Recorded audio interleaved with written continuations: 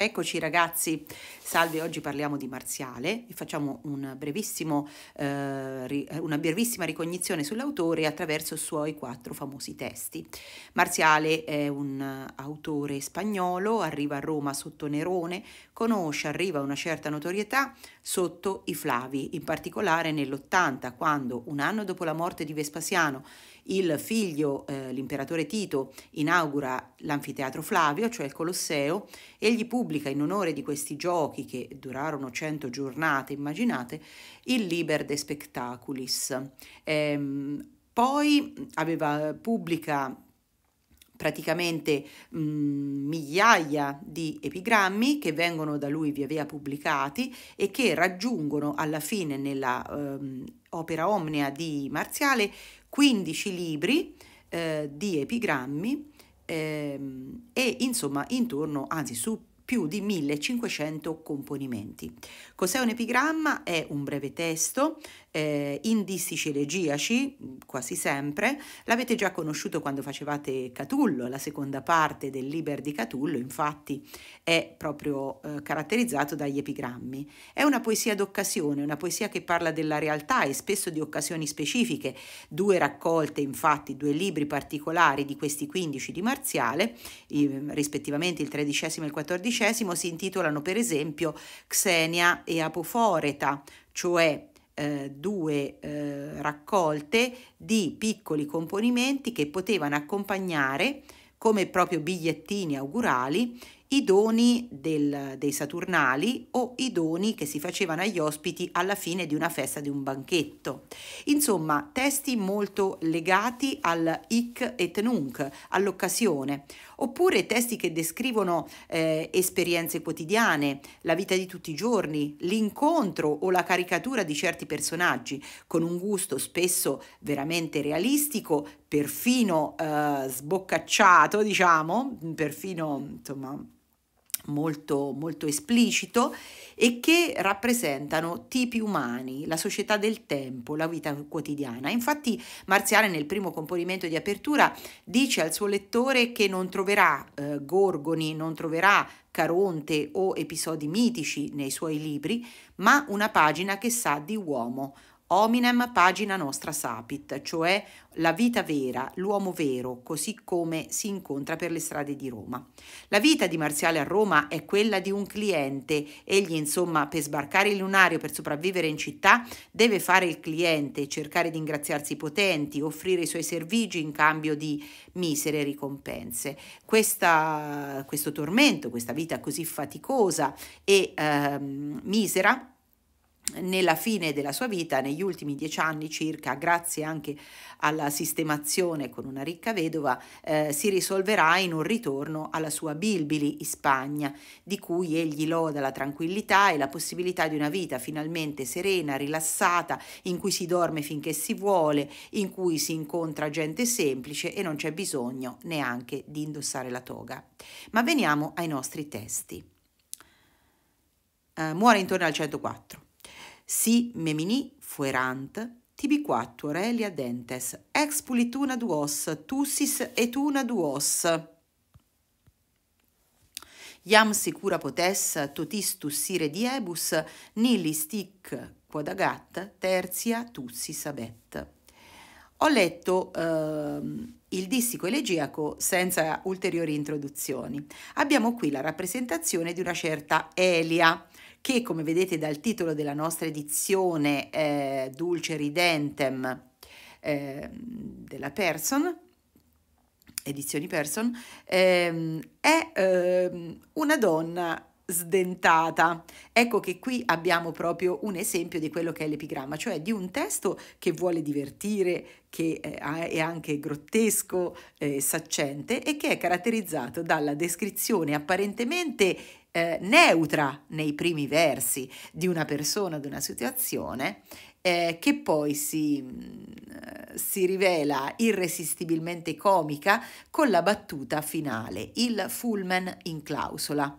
Andiamo a vedere dunque la traduzione e um, vi ricordo, avete qui lo schema nel riquadrino del nostro testo di adozione, lo schema dell'esametro e del pentametro che costituiscono il distico, il distico elegiaco, cioè la coppia di versi che si ripete per il tutto il componimento. Il primo verso è sempre un esametro, vedete? Sime minifuerant, abbiamo la pausa dopo il terzo accento, la pausa mediana e abbiamo visto i dattili che si susseguono, simemi, nifue, il secondo dattilo, al terzo accento, spezzando il terzo dattilo, abbiamo la pausa, appunto, dicevamo, mediana, e poi di nuovo le due brevi che completano il terzo dattilo, quattuor, ancora un dattilo, elia, quinto dattilo che fa posizione, cioè che è sempre un dattilo, mentre negli altri metri, negli altri piedi possiamo anche avere uno spondeo, cioè una sequenza di due sillabe lunghe che sostituisce il dattilo, Dicevamo Elia, quinto dattilo, Dentes invece come vedete è l'ultimo piede, il sesto, che invece è sempre di due sillabe perché l'esametro è sempre catalettico, cioè perde l'ultima sillaba del terzo piede e quindi può avere poi alla finale indifferentemente una lunga o una breve, si dice sillaba indifference o anceps. Invece il secondo verso è un pentametro expulit una duos, vedete due dattili, arriviamo al terzo accento e eh, della sillaba lunga e la pausa e poi si ripete esattamente lo stesso schema, quindi il pentametro è come se ripetesse due volte il primo emiepe, cioè la prima metà verso di un dattilo con cesura mediana e infatti attacca, vedete, due accenti ehm, sulla pausa, quindi espuli una duos e poi riattacca, riparte con l'accento tu si testuna duos. Traduzione adesso. Se mi ricordo bene, ti erano rimasti Elia quattro denti, oppure avevi Elia quattro denti. Fuerant tibi, infatti, sarebbe eh, una costruzione di dativo di possesso, dativo col verbo essere. A te erano stati quattro denti, però più liberamente, elegantemente, eh, traduciamo ti erano rimasti quattro denti, o Elia. Una tussis, soggetto, una tosse, ma noi traduciamo un colpo di tosse, expulit duos, te ne ha fatti sputare due, et una, et un altro colpo di tosse, altri due. Scusate, ma sbaglio a smuovere le foto e vedete la foto di un eh, Samuele, mio figlio adolescente, di qualche anno fa quindi. Um, ora puoi tossire, potes tussire, puoi tossire sicura, tranquilla, Elia. Totis diebus, eh, per tutto il giorno, tutti i giorni. Hm? Eh, si tratta di un ablativo di tempo. Eh, il nostro testo in nota dice potrebbe essere un uh, tempo continuato per tutte le giornate, ma noi più semplicemente facciamo un complemento di tempo in ablativo tutti i giorni. E quindi puoi tossire tranquilla tutti i giorni ormai. Infatti, Terzia tussis, un terzo colpo di tosse, non ha più nulla da fare a questo punto. Nil abet quod agat, quindi nil abet è la principale, quod agat è la relativa con il congiuntivo della possibilità. Non ha proprio niente da fare, che possa fare, con una sfumatura quindi di concessiva. Vedete il fulmen in clausola? Elia aveva quattro denti, ne ha sputati due con un colpo, due con un altro, eh, un altro colpo di tosse, ormai può tossire tranquilla perché il terzo colpo non ha più nulla da farle sputare. Ecco il fulmen in clausola.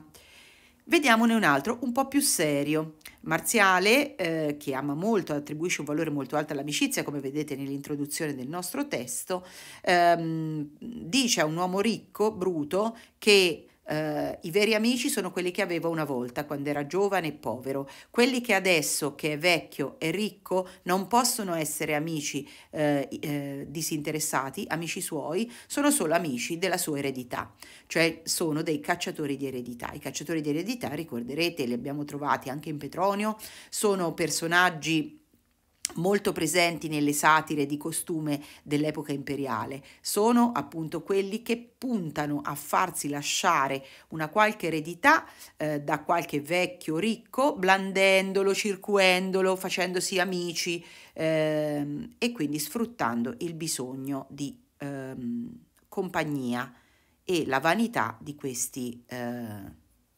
uomini da bene. Di nuovo il distico elegiaco che abbiamo già descritto.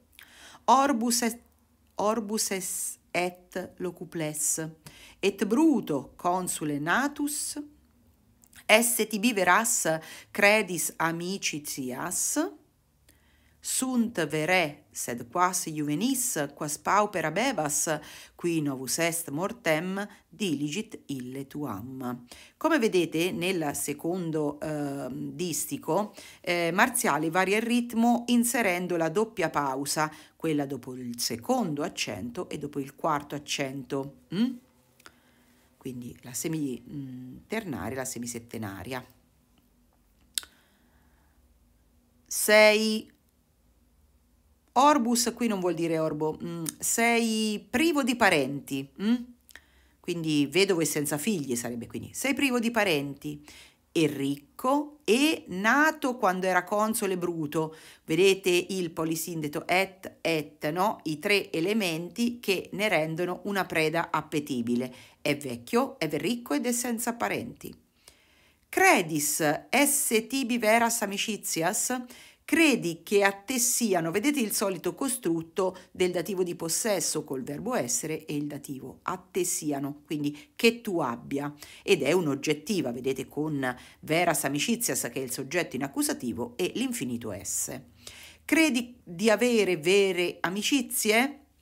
Sono vere piuttosto quas juvenis quas pauper abebat, vedete, abebas, vedete qui di nuovo invece c'è l'anafora del pronome relativo quas.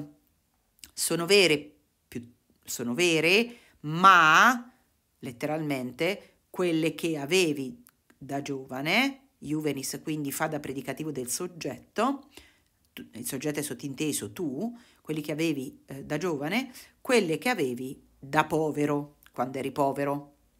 Qui novus est, colui che è un nuovo sottinteso amico, diligit ama, egli ama, vedete qui è quasi ridondante il ribadisce la vera identità del nuovo amico.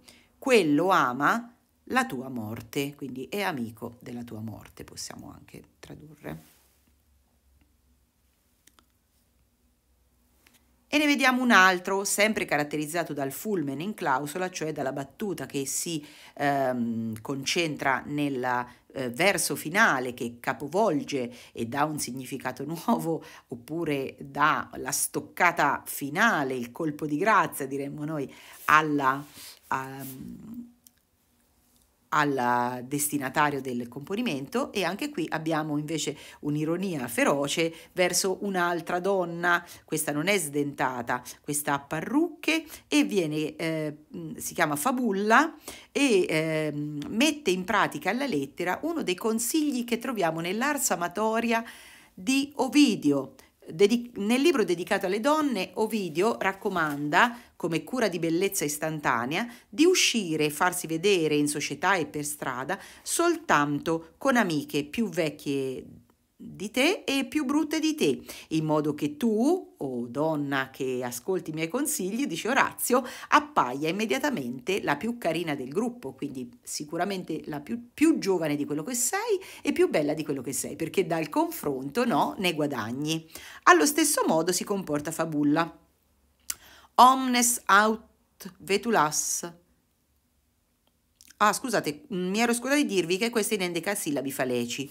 Vi ho segnato eh, la metrica qua sopra, come ricorderete l'endecasillabo falecio, anche questo un metro usato da Catullo, è ehm, costituito da un piede che è una base ionica, da un coriambo che vi ho segnalato, ta ta ta ta, quindi questa sorta di panino, no? Du- una lunga, due brevi e un'altra lunga a chiudere, e poi da un'altra sequenza che eh, può essere definita come una tripodia giambica catalettica, quindi un giambo, un altro giambo e una sillaba che rimane, diciamo, ehm, anceps perché è caduto eh, l'ultima lunga del terzo piede giambico. Dicevamo, omnes aut vetulas abes amicas, autur pes vetulisque fedi ores, asdu cis comites traisque tecum, per convivia porticus teatra, sic formò sa fabulla, sic puellas, puelles, scusate, perché c'è la eh, aferesi. Um, no, se c'è la feresi, scusate, ho sbagliato qua, non si legge puelles, si legge puellas, cioè cade, cade la E e non la A. Ho sbagliato perché il verbo essere. Mm. Ok, allora, dicevamo puellas, quindi sic puellas. Abes, tu hai, omnes amicas, tutte le amiche, aut vetulas, aut turpes, o vecchie o brutte e, vedete il terzo elemento sempre in crescendo, in climax, il terzo elemento ironico, fediores vetulis, o più, più sgradevoli delle vecchie, brutte e più sgradevoli delle vecchie. Vetulis quindi ablativo, secondo termine di paragone, perché fediores, vedete il suffisso ior, è un comparativo di maggioranza. As ducis comites, dicevamo, allora, eh, queste ducis, teleporti, comites, come amiche, quindi comparativo del complemento oggetto as, come amiche, trais tecum e te le trascini con te per convivia, per i, per i conviti, i portici, i teatri. Solo così, fabulla, sei bella, solo così sei puella, una ragazzina. Molto carino, no? Anche questo è molto feroce. Veniamo invece a un testo molto più dolce. Il, l'epigramma 34 del libro quinto in realtà è un epicedio, cioè è una poesia funebre ed è ehm, quindi mh, scritta per la morte eh, di una bambina, di una schiava, Erotion. Distici elegiaci, torniamo alla lettura metrica. Anc tibi fronto pater, genetrix flaccilla puellam, oscula commendò, delici asque meas. Parvola neni gras, orres caterotion umbras, ora que tartarei, prodigiosa canis. Impletura fuit, sextemodo frigora brume, vixis set totidem, niminus illa dies. Inter tam veteres laudat lasciva patronos, et nomen bleso, garri attore meum. Mollia non rigidus cespes tegatossa nechilli, terra gravis fueris, non fuit illa tibi. Fronto pater, genetrix, genetrix flaccilla, padre frontone, madre flaccilla. A te, quindi qui c'è una concordanza a senso, concorda solo con pater, ma in realtà si rivolge singolarmente a entrambi i genitori. Possiamo anche tradurre a voi, oppure a te, padre frontone, a te, madre flaccilla. Commendo, il verbo è commendo al secondo verso. Affido, anche puellam, questa bambina. Oscula delicias meas. Queste sono due apposizioni del termine puellam. Eh, sarebbe i baci e le mie gioie, quindi l'amore mio e i miei baci. Eh, non fraintendiamo, eh? eh, osculum non è eh, un, un, bacio oppure una metonimia per indicare un amore erotico, eh? è proprio eh, un amore tenerissimo, quindi la mia tenerezza e la mia gioia. Uh, ne orrescat, la finale, affinché uh, parvole erozio, erotion è il soggetto, la piccola erotion, ecco che qui abbiamo il nome di questa bambina, la piccola erotion, non Orrescat, non uh, abbia paura, orreo indica anche il tremare, il rabbrividire, ehm, è un verbo quasi intraducibile, quindi facciamo, facciamola facile, non abbia paura delle nere ombre e ora prodigiosa, vedete che Orresco in latino legge semplicemente il complemento oggetto, eh? Non abbia paura delle nere ombre e delle fauci terribili cani startarei, del cane del tartaro. Mm. Ricorderete Cerbero. Per questo ora le fauci, le gole, perché ha tre teste, quindi tre uh, bocche. Fuit in pletura, questa è una forma che avete incontrato raramente, sarebbe una, uh, una perifrastica attiva che però avendo appunto il verbo fuit, quindi avendo l'ausiliare al passato, si usa sempre nei periodi ipotetici di terzo tipo. In realtà avrebbe dovuto mettere fuisset, cioè avrebbe dovuto usare il congiuntivo di terzo tipo, ma forse lo fa per rimanere in uno stile più basso vicino al parlato, di preferire l'indicativo, oppure perché sta indicando effettivamente una, mm, e, e, mm, un dato oggettivo, cioè l'età della bambina. E quindi andiamo a tradurre. Modo impletura fuit. Appena avrebbe compiuto, frigora, L'inverno sarebbe il freddo letteralmente del sesto inverno. Quindi possiamo tradurre più ribelavamente. Avrebbe, ehm, stava quasi per superare il sesto inverno Ni, ecco questo ni che trovate al verso 6 lo mettiamo all'inizio davanti a Vixisset perché sarebbe nisi e introduce dunque la seconda parte del periodo ipotetico, la subordinata, la protasi, del eh, terzo tipo abbiamo detto dell'impossibilità e qui infatti vediamo il congiuntivo eh, più che perfetto Vixisset. Se non avesse vissuto, illa è il soggetto, se lei non avesse vissuto, minus meno totidem dies di altrettanti giorni, meno dunque di sei giorni. Cioè mancavano sei giorni che lei compisse il suo sesto, probabilmente compleanno, il suo sesto inverno, se, avesse, eh, se non avesse eh, purtroppo terminato la sua esistenza prima che fossero passati sei giorni inter tam veteres. E allora? Inter tam veteres patronos.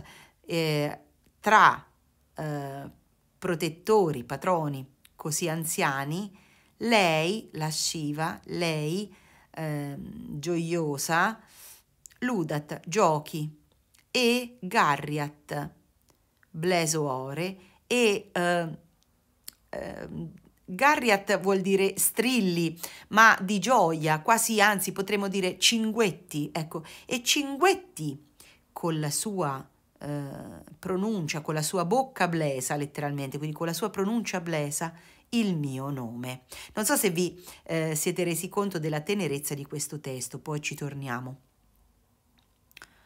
Eh, comunque, eh, bleso sapete che significa, sono coloro che pronunciano la F, la F così eh, mettendo la lingua tra i denti, quindi capite, marziale, eh? marziale, è una caratteristica eh, proprio che identifica questa bimba che pronunciava storpiando teneramente il nome di Marziale. Uh, non un rigido cespes, di solito la poesia funebre um, è all'inizio un commiato e alla fine c'è sempre questa invocazione alla terra che non sia dura e pesante sopra il corpo delle piccole creature cui questi testi di solito sono dedicati. Quindi uh, c'è il congiuntivo, quindi desiderativo, tegat. Il soggetto è rigidus cespes, quindi non una zolla rigida copra le tenere ossa, né ehm, o terra eh, e non essere o terra gravis pesante su, ehm, su di lei. Infatti lei non lo fu a te, non lo fu per te. Um, questo nec fueris è un fueris, lo vedete, è un congiuntivo perfetto. Il comando al negativo, il latino, specie in queste formule appunto, diciamo così, quasi ufficiali, no? sacre, ehm, rispetta la regola per cui invece dell'imperativo negato si faccia con, specialmente se il comando è la seconda persona, ne e il congiuntivo perfetto, quindi è, una sorta, è un imperativo negativo, un comando al negativo.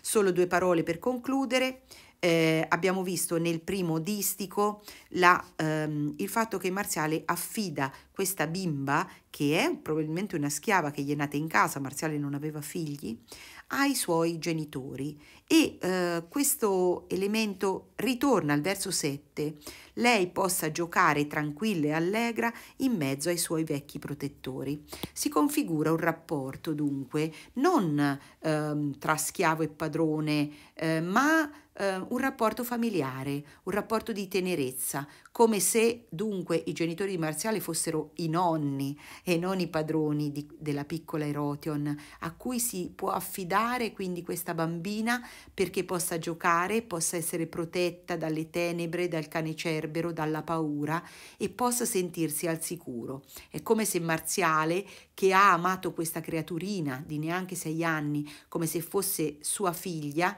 e che la chiama la mia dolcezza, la mia gioia, la mia tenerezza, i miei baci, possa, ecco, mh, mm, affidarla all'amore ugualmente familiare di questi nonni adottivi.